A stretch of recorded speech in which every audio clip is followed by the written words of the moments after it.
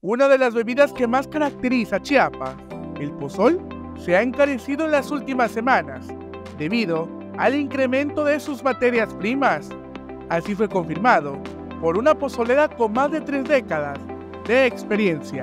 El kilo de cacao se disparó. Anteriormente comprábamos el cacao en 80 pesos y ahorita lo compramos en 150.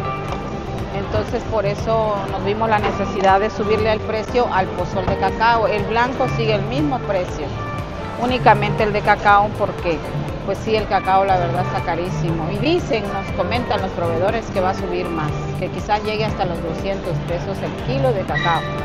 En el último año, el cacao se encareció al doble de su precio y aseguraron que podría seguir subiendo en los próximos meses, al igual que la canela, la cual se cotiza en 300 pesos el kilo. Exactamente, la gente consume más pozol de cacao, este, no solamente a veces es el grano ¿no? de cacao, la canela también se elevó de precio, la canela está en 300 pesos el kilo, la canela nos dura aproximadamente tres días.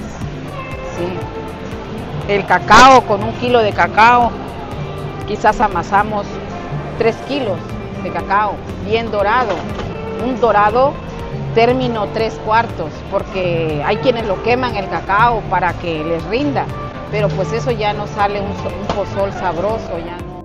En el mercado Juan Sabines de Tuxtla Gutiérrez, lugar donde se realiza la feria del pozol, la jícara de esta bebida se cotiza en 30 pesos. Comerciantes justifican el costo debido a las horas de trabajo que conlleva para poder disfrutarla. Lo estamos dando a 30 pesos. Anteriormente costaba 25, ahorita lo estamos dando en 30.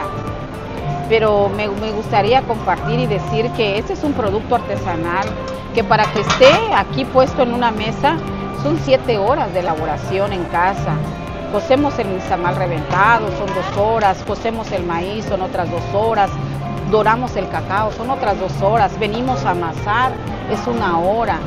Entonces, este, yo digo que eh, evitemos mejor una Coca-Cola. Hicieron extensa la invitación para visitar los mercados municipales y disfrutar de esta bebida, la cual puede consumirse en los distintos puestos tradicionales que ahí se encuentran. Pero si el cliente nos pide que 15 pesos en bolsita, también lo damos. Sí. Ahora sí que, que, que, nos adaptamos, también sabemos que todo, todo, la situación está difícil, no a todo nos va bien.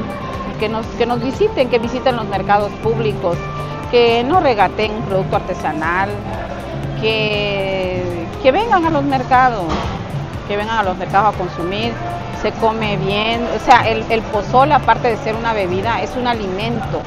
Para Alerta Chiapas, Eric Chandomí.